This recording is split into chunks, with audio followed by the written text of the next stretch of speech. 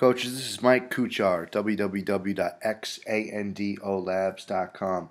Special thanks goes out to Coach Scotty Walden at East Baptist for putting together these clinic report clips on what uh, what he does in his run and pass game based on his check system and how he's able to get the ball and take advantage of space and leverages that defenses that do present.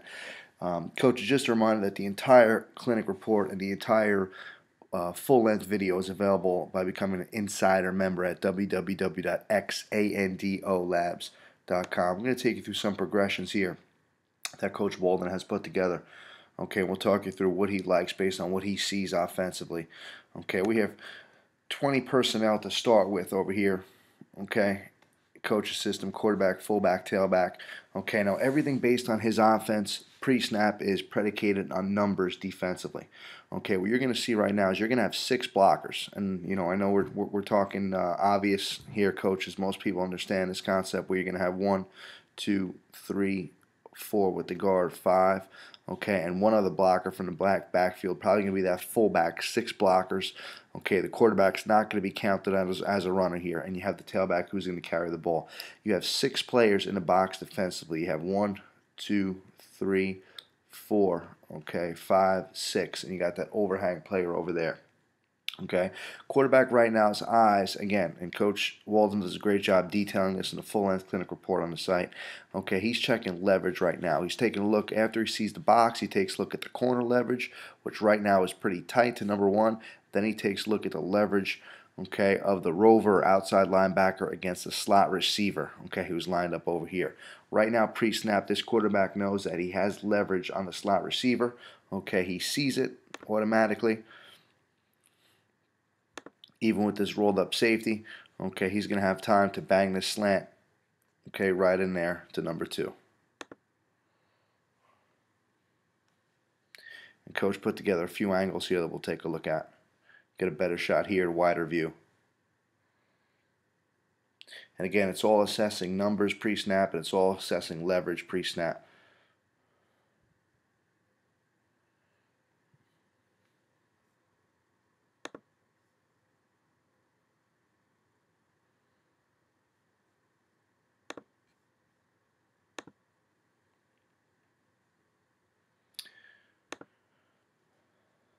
Okay, same thing, 20 personnel. Okay, you have what coach calls his H over here, okay, in the slot. Okay, the fullback here, tailback over here. Now, when you look defensively, okay, you got one, two, you got a four-man front, okay, possibility of eight defenders, okay, tied to the box.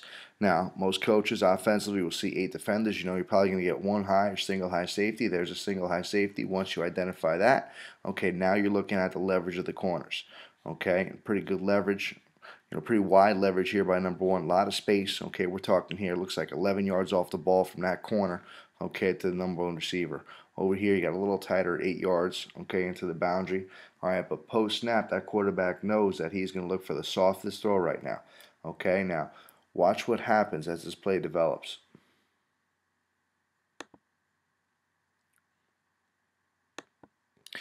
Okay, right now, as they're working that hitch concept, you see the force player to this side. Okay, he's going to take an outside pass rush move. So he triggers right now. It's going to leave that slot, okay, wide open to sit down in the corner. And again, this is all post snap by the quarterback, by the receivers. Um, there's three different play packages into this element. The receivers are running their routes. The offensive line is blocking for the run game, so on and so forth. The quarterback has to see it, and the quarterback has to take the best option. Okay, so this is based off uh, coach's counter action. So you have the backside guard pulling, as well as the fullback pulling. Quarterback yanks the ball out of the gut of the tailback and gets the ball to the slot. Much better shot here. The blocking assignments for the go for offensive line. So they're blocking counter. You know, nothing changed. Offensive line, they're blocking counter. That's it. Okay, quarterback has to make a decision based on numbers in the box and leverage outside. Takes a lot to practice, but pretty efficient if you could do it right.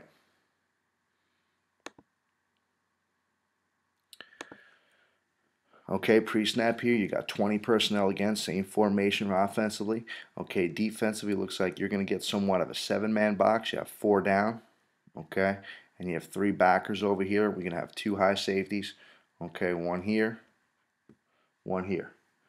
All right, now you got seven in the box. Run game, not happening. Okay, you got six blockers against seven. Okay, not going to happen. Now, what's going to happen here is the quarterback again. Okay, now he checks leverage of the corners and the leverage right now, the depth of the corners and the leverage of the alley players or force defenders. Okay, number two already has leverage right now. Okay, on that force defender. Okay, so it should be a free access pl free access throw as this thing develops. Now watch what happens. Okay, as the play develops, the quarterback's eyes are now on that force defender. This force defender, in, in the last play he triggered, okay, and he came downhill. Right now, he's not going to do that. He's going to stay with the leverage of number two. He's going to get in that hitch window. So the court now you have five. Now you have six in the box. So the quarterback decides to give the ball and take a shot. Okay, Got the run action there. The back has to beat someone, winds up getting a few yards out of it.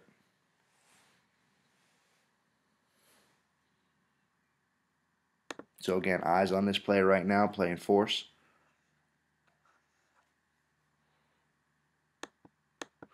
Okay, post snap, the quarterback's eyes are on him. He's not triggering.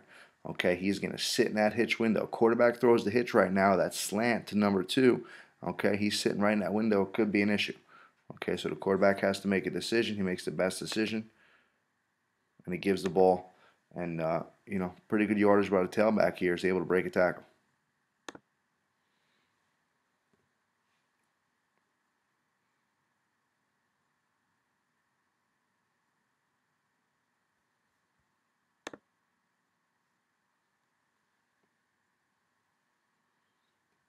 Okay, now this is going to be a little different. You have a 2 by 2 set, 10 personnel. Okay, you're going to get 5 in the box defensively. Okay, you got 4 down. And you got 5 as a mic. Okay? These so right now quarterback knows pre-snap. He's got numbers in the run game if he needs it. Okay, but now keep in mind it's a one back set. Okay, so the quarterback would mean six, but you have five blockers up front. You should be okay here. So there's a couple options. All right, now, what he also is looking at here is that he's looking at the corners being pretty soft as the post snap is going to develop here. All right, and again, the eyes are again looking at the rover to the field. Okay, not in a good position to cover that slot receiver. Okay, so right now this quarterback has an option to give five on five, run the ball, or he has an option to throw that slot receiver based on leverage of that rover. Okay, right now he decides to pull it right away. There's a slot receiver. A quick looky route. Quarterback delivers the ball. You know, when you get your playmakers in space like that, they got to be one man. You got a chance of being pretty successful.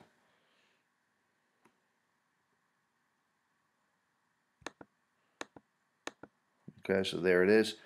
That rover's not in a good position right now to cover that slot. Quarterback delivers a ball.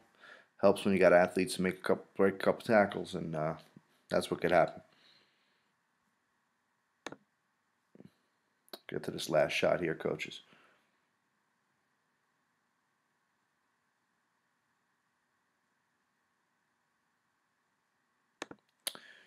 Okay, 20 personnel again, offensively. All right, defensively, you got four down and a possibility of three linebackers in the box, or so you have seven in the box. Numbers do not equate in a run game. Okay, now your eyes go to the depth of the corners. You got some space out here. Okay, some space out here. All right, the the rover is covered down on the H. Okay, so right now, any interior route looks like it's taken away pre-snap.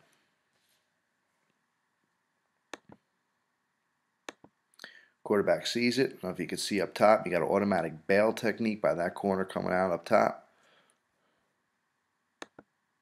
Quarterback takes advantage of it. Okay, quick hitch by number one. Come back, get the ball.